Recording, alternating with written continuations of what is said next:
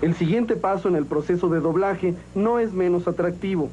Todos los efectos de sonido que pueden surgir de una película, cualquiera que sea su género, son reproducidos improvisadamente por una o dos personas a lo mucho.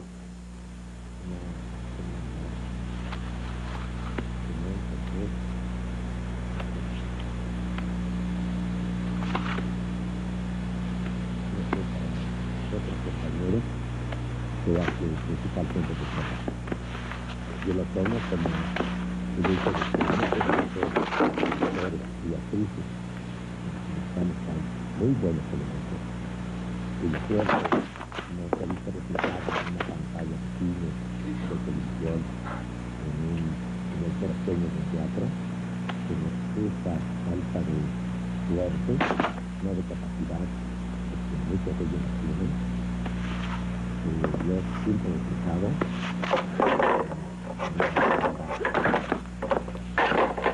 humanidad.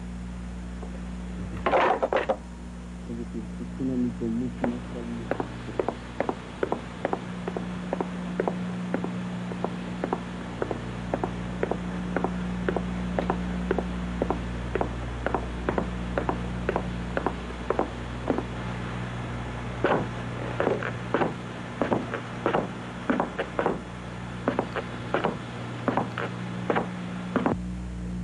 Con esto que vemos, es decir, una cubeta, una serie de, artículos de metal, de cristal, un teléfono, una puerta, una madera, un papel, ¿es suficiente para hacer toda clase de ruido? En este tipo de películas de la que estoy haciendo, sí, sí, definitivo. Porque no se necesita más. Entonces, este, bueno, hay, agüita.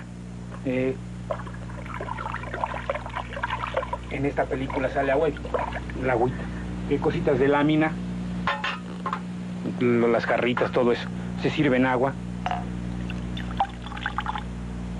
El teléfono es importante. En todas las películas de la que pasa dentro de una casa, sí es muy importante el teléfono porque siempre se usa. La puerta pues es normal porque en todas las películas sale puerta. Toda. Los pasos.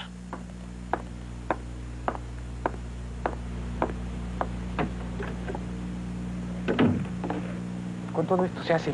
Por ejemplo, el papelito que trae ahí cerca del cinturón. Este, este cartoncito siempre me lo pongo porque siempre hay cosas de folders, eh, fotografías, y con esto nada más moviéndolo ya se oye el ruido del cartoncito. El papelito este siempre me, es muy útil para mí porque con este hago exactamente papel, que billetes, cualquier cosita de papel con esto. Y aquí los pasos en tierra.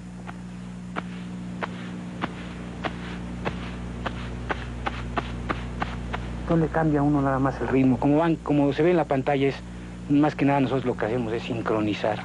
Los golpes eh, de violencia. En la mano, o cachetadas. Todo eso es caballos.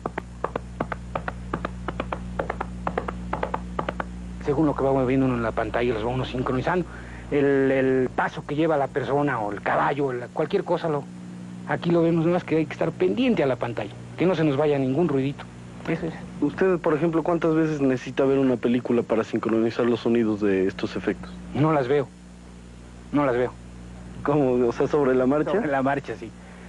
Sí, ese es el estado nervioso que está uno porque como no las, si uno las viera, acomodaba uno todo lo que necesita. Pero como no las veo, entonces nada más me pongo mi audífono para oír todo lo que es toquidos de, de fuera de cuadro. Entonces ya oigo y ya estoy pendiente. Más que nada es estar pendiente a la película. Y como le digo, ya tantos años en esto, ya es, es una rutina.